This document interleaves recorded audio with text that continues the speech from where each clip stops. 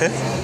What do you want to do? Just starting into well, that maybe that way. You want to do it? Should we do it together or you want to do it? Uh, we'll do them separately so that we can put different Go names. here.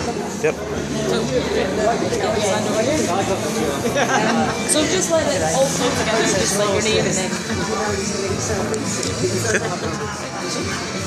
Hi, I'm Mike Hay. I'm going to be the Deputy Chef de Mission for Team GB at the Rio 2016 Games. And what, what are you most looking forward to about the Rio Games? Most looking forward to well, Uh, hopefully successful games because I think we have the potential to do really well. So if everything comes together and uh, there's not too many huge challenges, then I think that's a reality that have one of our certainly our best away games anyway. That's that's goal. And personally, what sport are you most looking forward to going to see? I'm afraid I can't say that. Team GB and across them all. I love them all. No, no, it's great. No, I think uh, once you work very closely with the sports, you understand what it takes to get to the top in all of the sports. So I can't pick, pick anyone. The ones who win gold medals, of course, will be favourites. Thank you very much for your time.